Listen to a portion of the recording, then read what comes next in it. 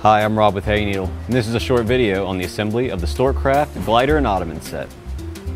The estimated time on this assembly is around 25 minutes, and the only tool you will need is an Allen wrench, which is provided. Start by opening your box and removing its contents, then locate your instructions. On the front, you'll find a parts and hardware list. Take a brief inventory to make sure you have all the pieces needed for this assembly. Using two of our bolts labeled as A, we'll first attach our back to our bigger glider. Line up the holes with the holes on the back, then insert your bolts and tighten. Once you have both of your bolts in place, you'll then take your Allen wrench and fully tighten.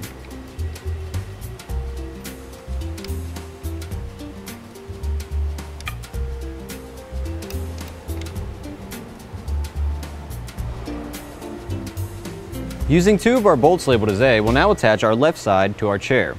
Line up the two holes on your left arm with the two holes in the chair. Again, insert your bolts and tighten into place. Do not fully tighten at this time.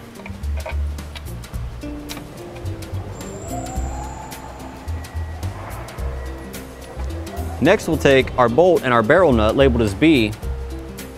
Insert your barrel nut up through your arm and insert your bolt through the back, then through the arm. Once in place, you'll then use your Allen wrench to fully tighten. You can now go back and fully tighten your bolts on the bottom and repeat these two steps for attaching your right arm on the opposite side.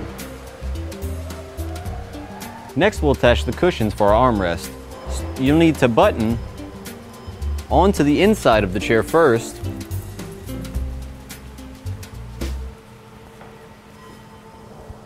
And then once in place,